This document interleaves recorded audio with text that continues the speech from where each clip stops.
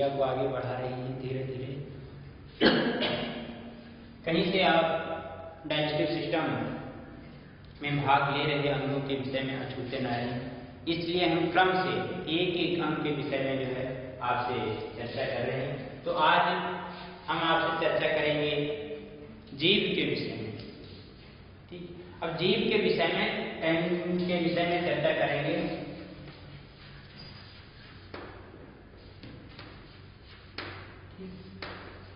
Tank के विषय में आपसे हम चर्चा करेंगे देखिए लिख दे रहे हैं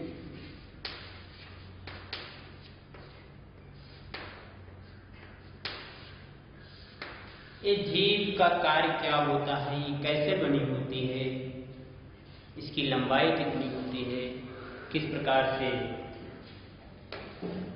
भोजन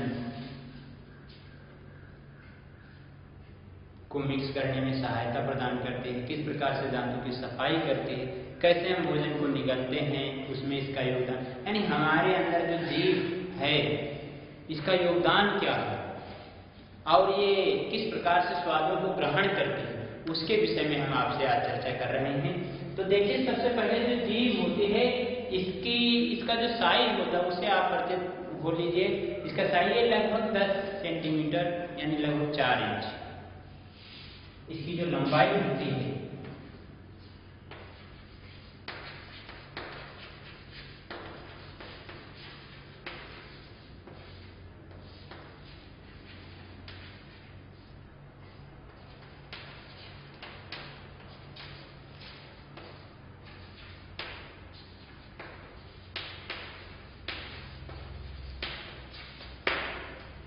मनुष्य की जीव की लंबाई लगभग जो है चार इंच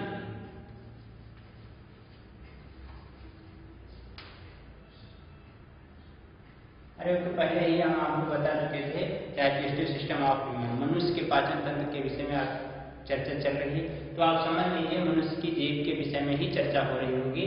तो ये आपका चल रहा है जीव की लंबाई, यानी मनुष्य की जो जीव होती है, मनुष्य की जीव की लंबाई लगभग चार इंच ये कहाँ होती, ये भी आप समझते चलिए, देखिए, ग्रासन जो मुख ग्रासन गुहिका के तल के मुख ग्रासन गुहिका के तल।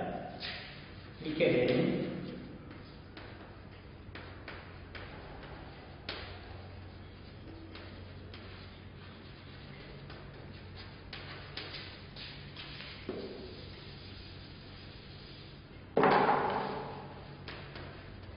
मुख ग्रासन गुहिका के तल के अधिकांश भाग पर, मोटी तल के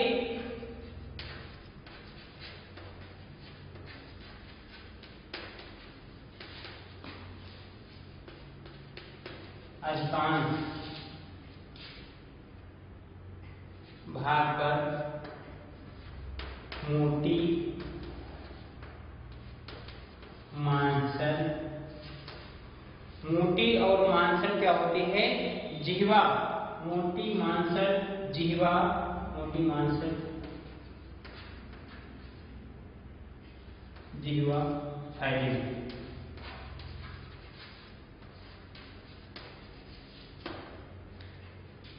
मोटी मांसल जिहवा पेशी होती है एक प्रकार की मसल्स है, पेशी है, ये भी आप समझ लीजिए। अगर कोई पूछ रहा है टंग क्या है, जीव क्या है, जीवन किसे कहते हैं तो सीधे कह दीजिए। ये एक विशेष प्रकार की पेशी होती है, जो ग्रासन गुलिका के तल के अधिकांश भाग पर मोटी मांसल जिवा फैली हुई होती है। इसका जो अग्र छोर होता है, वो सिर्फ़ स्वतंत्र होता है, जिसकी वजह से हम जीव को सरलतापूर्वक इधर उधर मोड़ सकते यानी अग्र छोर को ही हम मोड़ सकते हैं, बाहर निकाल सकते हैं, घुमा सकते हैं अंदर। ठीक है, इस प्रकार से हम बोल भी सकते यह जीव हमारे मुड़े ना तो हम बोल नहीं पाएँगे, कुछ कह नहीं पाएँगे। तो इस प्रकार से जो जीव का अग्र छोर होता है वो सिर्फ़ स्वतंत्र होता है। जिसकी वजह से हम जीव को बाहर भी निकाल सकते हैं और अंदर मोड़ भी सकते हैं। ये एक प्रकार की जो है, पेशी है। जो मसल्स है, एक प्रकार की पेशी है। अब इसके बाद आप ये देख लीजिए, जो जीव है, जीव हमारे शरीर के अंदर इसका जो मुख्य कार्य है, वो क्या है, वो भी हम आपको बताएँगे। एक तो बोलने में महत्वपूर्ण योगदान इसका ही है या जीव को हम दवा लेते हैं तो फिर अगर बोलने का प्रयास करते हैं तो बोल नहीं पाए। बोलने में, अरे कार्य इसके बहुत बोलने में, भोजन निकलने में, दांतों की सफ़ाई में, ठीक है, दांतों की सफ़ाई भी जीव बहुत सही ढंग से करती है। जब तक दांत में कुछ फंसा रहेगा या फंस जाता है जब तक उसको निकाल नहीं देती, तब तक आपका मन नहीं मानता। हर समय जो है प्रयासरित रहते हैं। तो आप देख लीजिए, यानी ये कार्य हो गए भोजन निगलने में, बोलने में, दांतों की सफ़ाई करने में। ये तो बहुत से कार्य हैं और आपको अभी बताएँगे। इन साथ साथ ये भी ये भी देखते चलिए, जो जीव हमारी है, इसका जो मुख्य कार्य है, वो स्वाद को चखना से कार्य सभी इंपॉर्टेंट है। लेकिन ये स्वाद को ग्रहण करने का कार्य करती है, स्वाद इंद्री है। अब देख लीजिए जीव के किस भाग में किस स्वाद की अनुभूत होती है? आउटलाइन हम बहुत जल्दी हमें बनाए गए हैं आपको समझ लेना।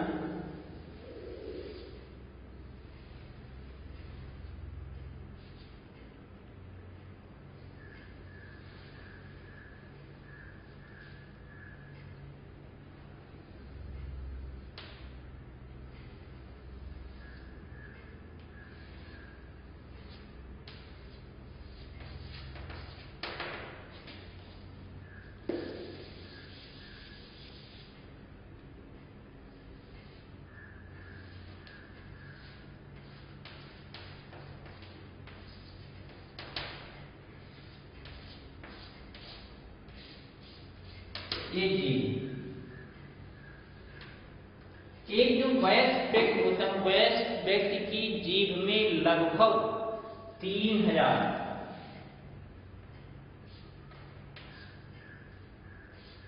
इस प्रकार के जो रसायन को पाए जाते हैं, सीधे कर लीजिए ये लगभग तीन हज़ार है। तीन हज़ार होते हैं। जिनकी वजह से व्यक्ति स्वाद को ग्रहण करता है। ये आपने देखा होगा, जीव को सुबह साफ़ करिए या हाथ रगड़िए तो इस पर छोटे छोटे उभार पाए जाते हैं। रसायनकुल आपको देखने को मिलेंगे। ठीक, उन रसायनकुलों की संख्या लगभग एक व्यक्ति में तीन हज़ार के आसपास होती है जो स्वादों को ग्रहण करते हैं। लेकिन ये रसायनकुल भी अलग अलग प्रकार के होते हैं और अलग अलग ढंग से स्वाद को ग्रहण करते हैं। अब देख लीजिए जीव के किस भाग में किस स्वाद की अनुभूति होती है। ये भी आप समझते चलिए देखिए, जो सबसे शीर्ष भाग होता है, ये भाग जो है, मीठे स्वाद को ग्रहण करता है। इस को ग्रहण करता है। यानी मीठा भाग जो है, उस मीठी चीज़ को ग्रहण करने का कार्य करता है और शेष भाग जो होता है, अब वो किस चीज़ का ग्रहण करता है? देखिए साल्ट का। इसका जो ये पोर्शन होता है, ये वाला पोर्शन दोनों साइड में। ठीक, ये साल्ट होता है साल्ट की अनुभूत करने का कार्य करता है। आप देख लीजिए जो साल्ट होता है साल्ट की अनुभूति करता है,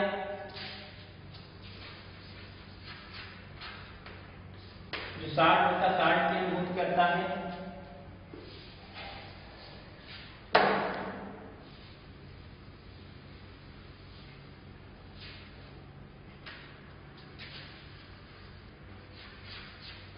साल्टिंग ठीक है, इसका साल्ट में नमक की अनुभूति करने का कार्य करता है। और इसका जो आगे इसके आप पढ़ेंगे तो ये इसका ये साइड होता है बिल्कुल थोड़ा सा तो ये किस चीज़ की अनुभूत करता है? स्योक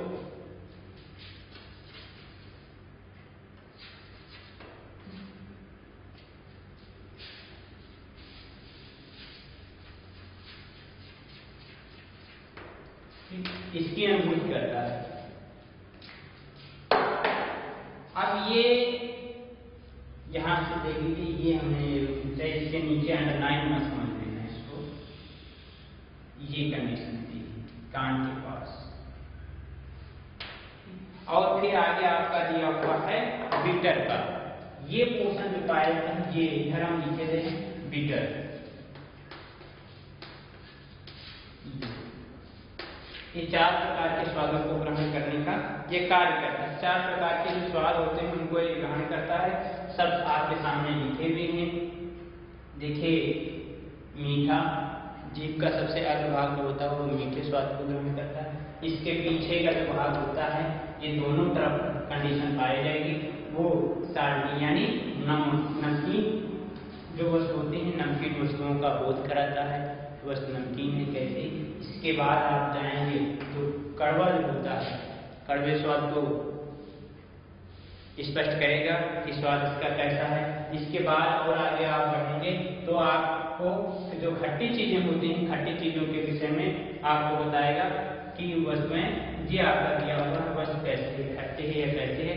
ये चीज़ के सबसे अंतिम भाग जो होता है, वहाँ पर इसका ये मध्य पोषण पाया जाता है ये भाग यहाँ से जो पाया जाता है, ये खट्टे स्वाद को ग्रहण करने का कार्य ये इसकी कंडीशन तो जीव के हमने आपको भाग भी बता दिया किस भाग में किस स्वाद को ग्रहण करने के लिए इसमें रसायनकुर पाए जाते हैं या विलाई होती है। ठीक?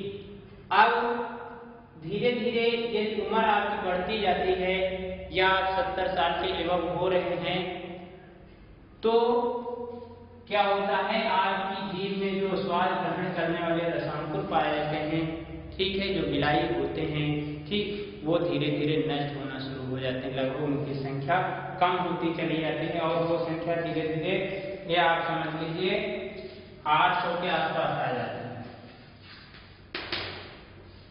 आठ आठ सौ के आसपास जो है, आपकी संख्या आ जाएगी इस प्रकार के जीव जो है स्वादों को ग्रहण करने में महत्वपूर्ण भूमिका निभाते हैं। किस पार्ट में किस स्वाद की अनुभूति होती ये भी हमने आपको फिगर की आउटलाइन बना करके बता दिया। सब सामने आपका लिखा हुआ, कहाँ पर स्विच कहाँ पर साल्टी, कहाँ पर स्लो कहाँ पर मीटर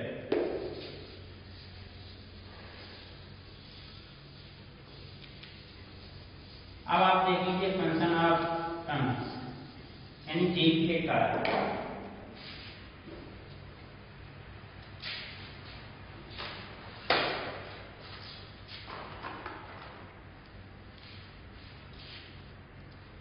देखिए एक तो भोजन को निकलने में यानी चम्मच का कार्य करती है। भोजन को निकलने में लिख दे रहे हैं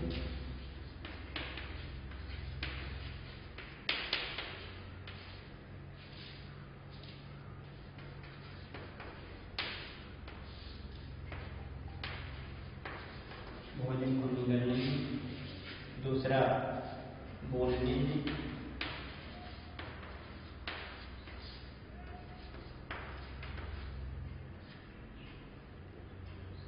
बोलने में सहायता प्रदान करते हैं, दांतों की सफ़ाई करने में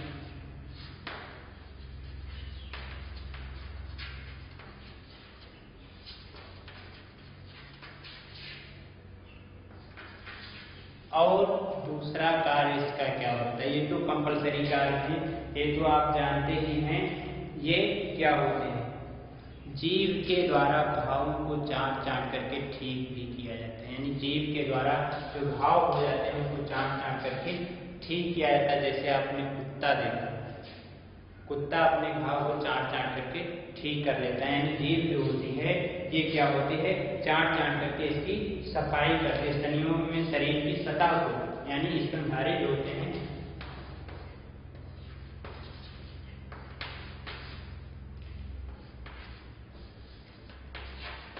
स्तनधारियों की सतह को चाट चाट चाट करके ठीक किया जाता है दूसरा ये तो कंपलसरी है तो आप जानते हैं, नए नए पॉइंट आप देख लीजिए क्या कार्य होते हैं जीव का जो आपका पांचवा पॉइंट है, वो बहुत ही नया आपको लगेगा। अगर आप कोशिश करेंगे तो बिल्कुल आपकी समझ में ये पॉइंट आएँगे। स्तनधारी ये तो चाटने वाला तो आप कंपलसरी जानते हैं, कुत्ता जो है जीव से ही चाट करके अपने घाव को सही करता है। और तीसरा पॉइंट है, ताप नियंत्रण। ताप नियंत्रण। ये कार्य भी कुत्ते में होता देखा होगा, अक्सर कुत्ता जीव निकाले रहता है, जिसकी वजह से उसके शरीर का ताप नियंत्रित रहता ताप नियंत्रण में, क्योंकि कुत्ता जब बहुत ज़्यादा गर्म होता है तो जीव निकाल लेता है। जब जीव निकाल लेता है तो उसकी जो जीव होती है जीव में जो ब्लड का सर्कुलेशन होता है, वो बहुत फास्ट हो जाता है, यानी विरोधी प्रसंचरण उसकी जीव में बहुत ज़्यादा होता है। ठीक है? जिसकी वजह से जो श्लेष्मिक पदार्थ उस पर होता है, वो वाष्पित हो जाता है, वाष्पित होने की वजह से जो है, वो उसको ठंड की अनुभूत होती है। पांचवा पॉइंट आपका हो गया। और नेक्स्ट पॉइंट जो इसका दिया हुआ है, भोजन को निगलने में बता दिया, बोलने में भी बता दिया, और भोजन को उलटने पलटने में। अगला पॉइंट जो है, भोजन को उलटने पलटने में